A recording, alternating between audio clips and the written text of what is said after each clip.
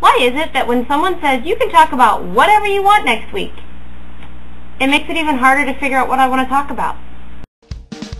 Shiggity swell, 55. Shiggity swatity swatity swat swat swell, 55. So I wanted to start by saying, Kimmers, it was so nice to meet you on Friday. Kimmers and I had lunch at a place called Tropical Smoothie Cafe. Um, I actually got a smoothie that had been made with Splenda, and it tasted just like the regular strawberry smoothie. It just had like half the calories and zero sugar in it. So it was just as tasty. So I wish I could get to meet the rest of you guys at LeakyCon, but unfortunately I can't be there. Um, I was supposed to have a conference for work this week, and then it got canceled due to economic situation and whatever. So Ashley, I want to say congratulations on losing more weight. That's awesome. Um, I still haven't lost anything else. I'm kind of up, back up to 200 again, which sucks. But um, I've been doing better this week, and I look like crap right now because I just came from a really awesome workout at the gym. Um, I've been running again, and that's what I decided to talk about this week was The Biggest Loser. Now, I like The Biggest Loser, but I have some problems with it sometimes. I'm kind of annoyed when someone loses five pounds in a week and they're like, I failed. And I'm like, are you serious, dude? You've lost five pounds in a week. I know it's not your normal 10 or whatever pounds you lose in a week, but if you are saying you failed by losing four or five pounds in one week, what are the people at home that are trying to lose weight on our own supposed to think if we lose one pound in a week? Are we supposed to be like, oh, I failed? But then at the same time, we're being told that one to two pounds a week is a healthy weight loss.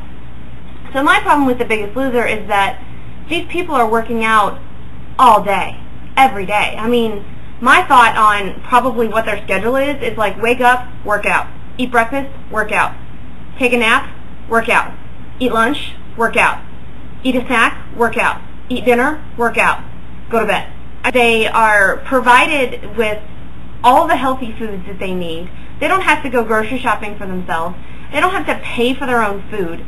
It's all provided for them. Yes, they have to cook their own food, but the only thing you have in your kitchen is healthy foods. How can you not lose weight?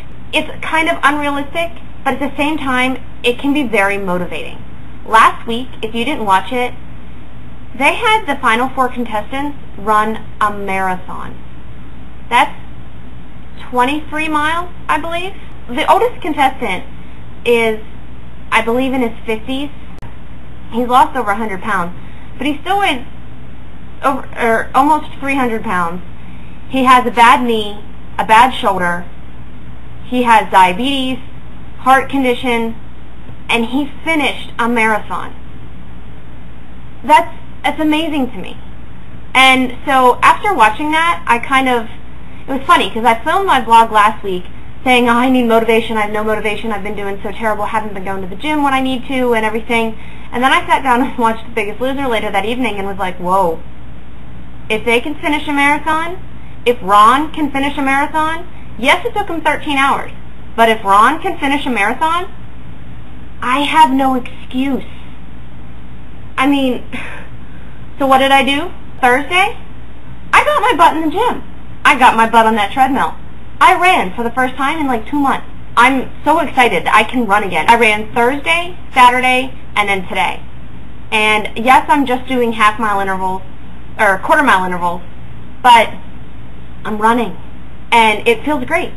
But if you watch The Biggest Loser, just keep in mind that they are working way more than a normal person could ever work out in a day. They have everything provided for them. So it is kind of unrealistic, but it does show you that if you put your mind to it and put the work in, you can lose the weight too. You can get healthy too. And it also shows you that if you really are determined, you can do anything. I mean, I, I still, I'm like, if Ron can finish a marathon, so can I. So now I have this goal for myself, which I've kind of had before, but I'm now even more determined. I want to run a marathon by the time I'm 30. I'm 25 right now. I'll turn 26 in August. But in the next five years, I want to run a marathon. Or Maybe not even run a marathon. I just want to finish a marathon. I don't care how long it takes me. I want to complete a marathon. So we'll see. Hopefully it'll happen.